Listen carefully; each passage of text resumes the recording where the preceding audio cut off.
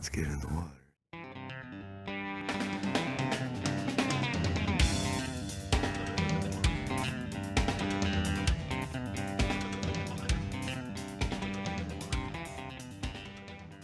Here is the fishing trailer made of leftover junk.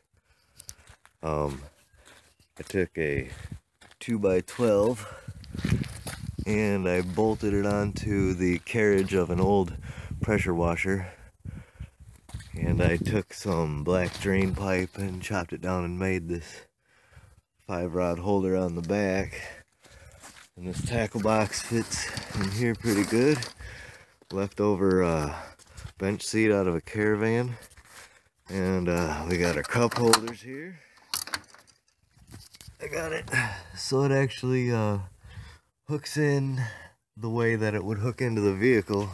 So I can pull the levers on the back and unlatch the thing. Got this cooler. It rides right there. There. Rides a little better on the back. And the headrests, man, they still work too. There. All right. I just got to putt 300 feet down the road to the creek.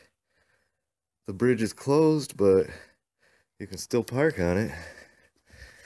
I think since today is officially the last day of winter and tomorrow is officially the first day of spring, it's time to get some fishing done.